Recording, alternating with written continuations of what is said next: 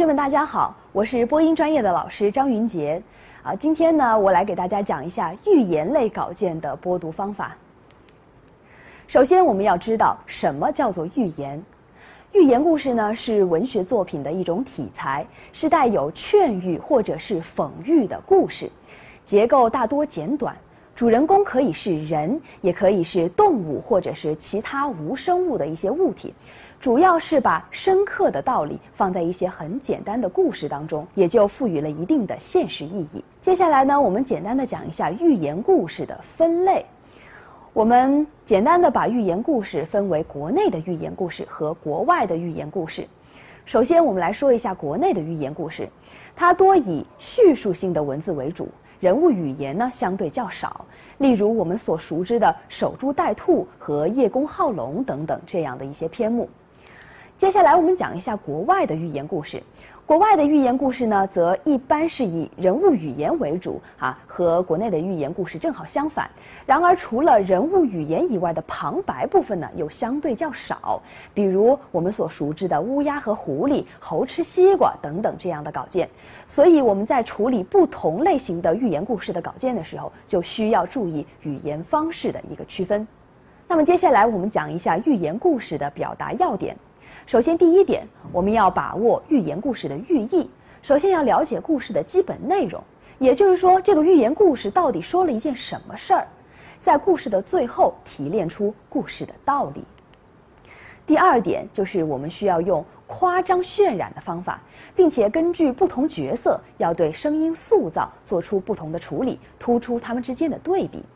比如说，我们所熟知的乌鸦和狐狸这篇稿件当中，乌鸦的声音我们都知道是非常沙哑并且难听的，而狐狸给我们的一个角色印象呢，是它非常的奸诈并且狡猾，所以它的声音应该是很尖细的，在这方面就要做出一个区分。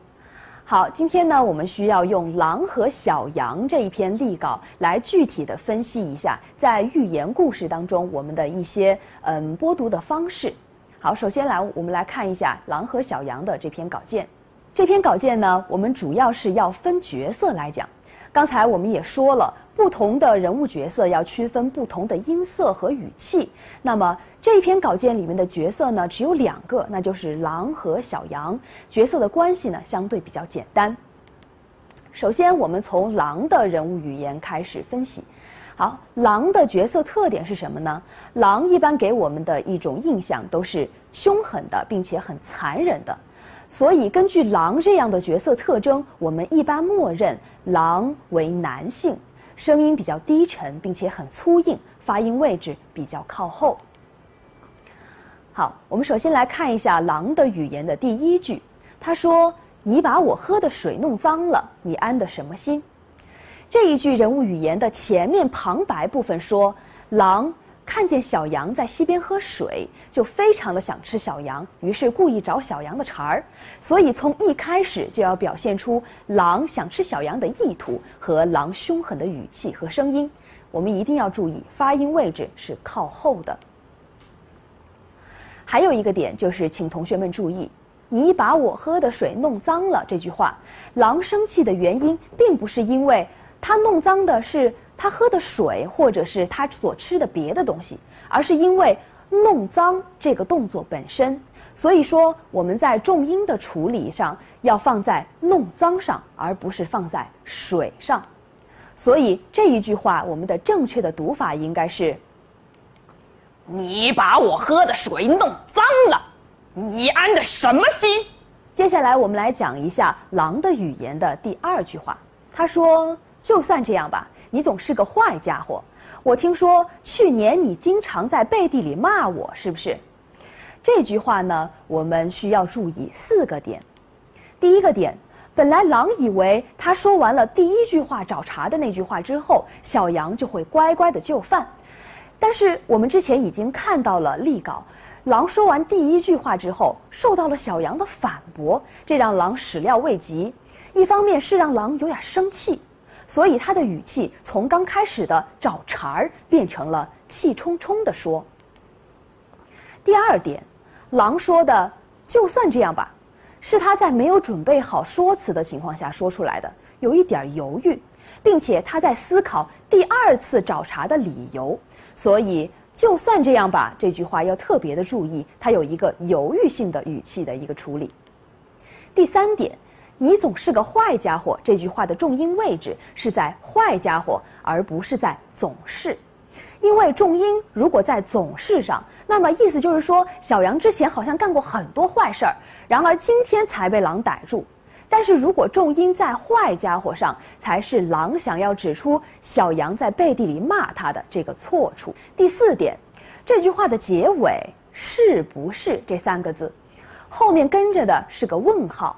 所以说，在狼的凶残语气的同时，跟着的是质问的口气，而并不是纯粹的凶神恶煞的怒吼。所以这一点，请同学们一定要注意。综上所述，这一句话，这一句狼的语言，我们正确的读法应该是这样的：呃，就算这样吧，你总是个坏家伙。我听说。去年你经常在背地里骂我，是不是？好，接下来我们讲一下狼的语言的第三句话。它的第三句话是这样的：“你这个小坏蛋，骂我的不是你，就是你老爸，反正都一样。”狼在第二次向小羊发难之后，但是小羊又马上又找出了反驳的理由，狼恼羞成怒。所以，狼的语气从气冲冲又进一步的升级为狼不想再争辩了，呲着牙逼近小羊，大声喊道：“三句话的音色虽然是没有变化的，但是他的情感却是逐渐递进的。”所以说，综上所述，我们狼的语言的第三句话的正确读法应该是：“你这个小坏蛋，骂我的不是你，就是你老爸，反正都一样。”说完了狼的人物语言，我们再来说一下小羊的声音色彩。好，小羊的这么一个角色，给我们的心里的感觉一般是温柔、善良、可爱的。然而，根据羊这样的角色特征，我们一般默认为，嗯，羊是一个女性的这么一个角色，并且在文稿当中曾经提到，去年我还没有出生呢，所以它是一只小羊羔，我们就默认为是小女孩的这么一个角色。小朋友说话的声音呢较为尖细，声调比较高，发音位置比较靠前，语速呢相对也就较慢。好的，接下来我们来看一下小羊的语言的第一句，他说：“亲爱的狼先生，我怎么会把您喝的水给弄脏呢？您在上游，水是从您那儿流到我这儿来的，不是从我这儿流到您那儿去的。”狼在向小羊提出他弄脏了喝的水之后，小羊看见了自己的天敌，所以小羊吃了一惊。但是依照小羊自己的性格，依然很温和的进行解释。请注意，羊的叫声我们都知道是带一个颤音的，它的叫声是咩。所以我们在读小羊的语言的时候，也可以略带颤音，让音色更加接近小羊的人物角色特点。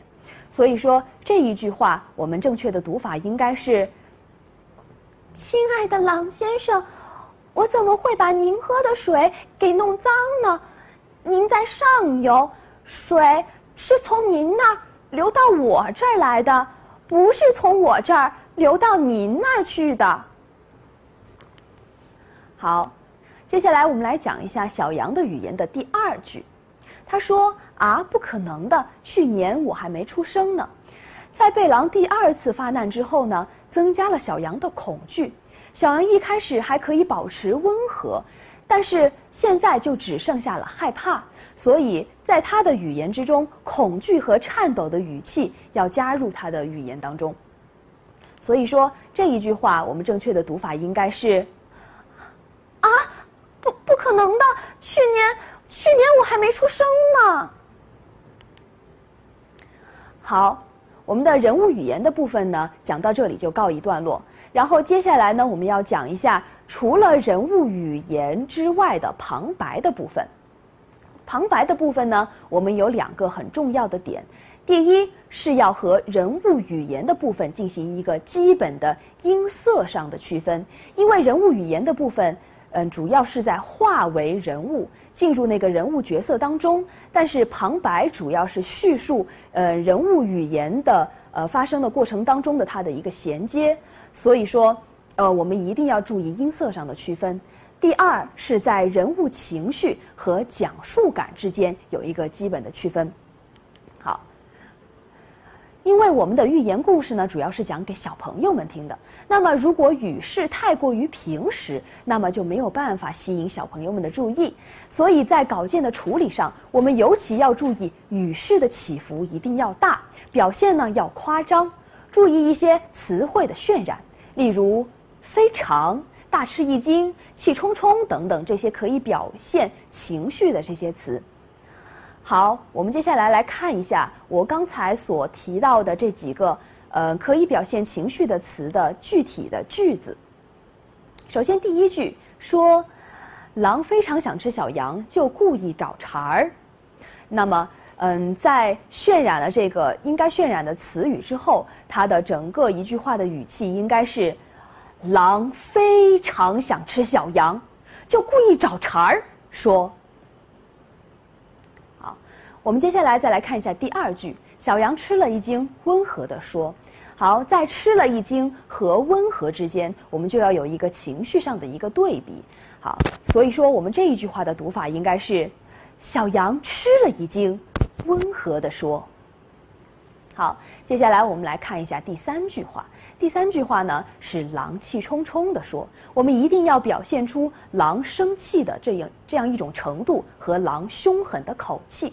所以说这一句话，我们的读法应该是“狼气冲冲地说”，啊，一定要表现出狼生气的程度。好，这一篇寓言故事呢，就给大家讲到这里，希望能对同学们有一定的帮助。我们下一节课再见。